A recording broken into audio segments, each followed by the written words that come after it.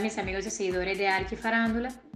Les comento que el equipo Alfa durante todo este ciclo ganó las pruebas de sentencia y hambre, de servicio de bienestar y ahora esta última de premio y castigo. El equipo morado fue felicitado por Andrea, pero a pesar de haber ganado las pruebas, parece ser que se ha visto afectada la convivencia entre sus participantes. No te muevas de la sintonía para que no te pierdas ningún detalle.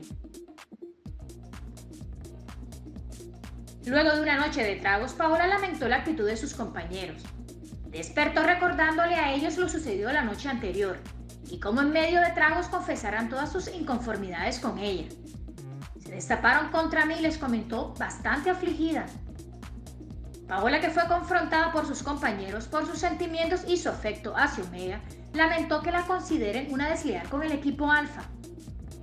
Luego de que Alfa recriminara a Paola por supuestamente sentirse parte del equipo Omega, ella se mostró sorprendida y confesó que el ánimo le quedó por el piso.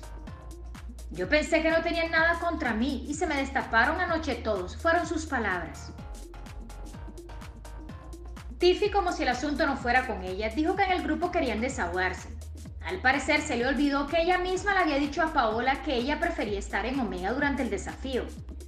Me hicieron sentir mal, confesó Paola cabizbaja en el programa de Caracol Televisión.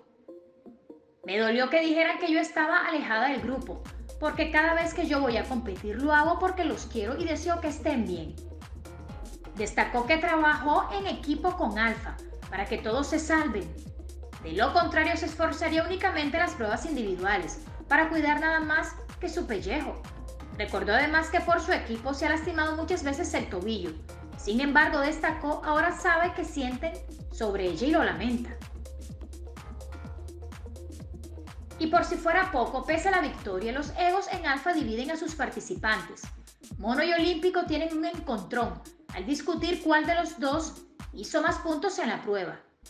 Ya en la casa, después de la prueba de sentencia, prueba y castigo, Ángela mencionó que los puntos para ganar la prueba en el box rojo los había hecho el mono y Tiffy, en la cual salieron vencedores. Este comentario no le gustó a Olímpico y les comentó a sus compañeros que fue él quien marcó el primer y el último punto para poder ganar. En la casa alfa piensan que Olímpico es muy sobrado al decir esas bobadas y al pensar que si no hubiera sido por él, no se hubiera ganado la prueba de sentencia premio y castigo, que siempre saca algo a favor suyo. Pero el jugador del equipo morado se defendió les mencionó que él, aunque le vaya bien, es el que menos se halaga, que los hechos hablan por sí solos. Olímpico mencionó también que las cosas las dice jugando y que los compañeros se toman las cosas personal. Tal fue la molestia de Olímpico que ha decidido no ir a la fiesta champetera Ángela y Tiffy le han pedido para que cambie de actitud, pero hasta ahora no se sabe si el capitán irá al premio ganado por Alfa. Está viendo afectada la convivencia en la casa, primero con las palabras que tuvieron con Paola y ahora la discusión que tuvo Olímpico con Mono. ¿Qué piensas mis amigos y seguidores de estas situaciones que han afectado la convivencia en la casa Alfa? Déjanos saber tus comentarios.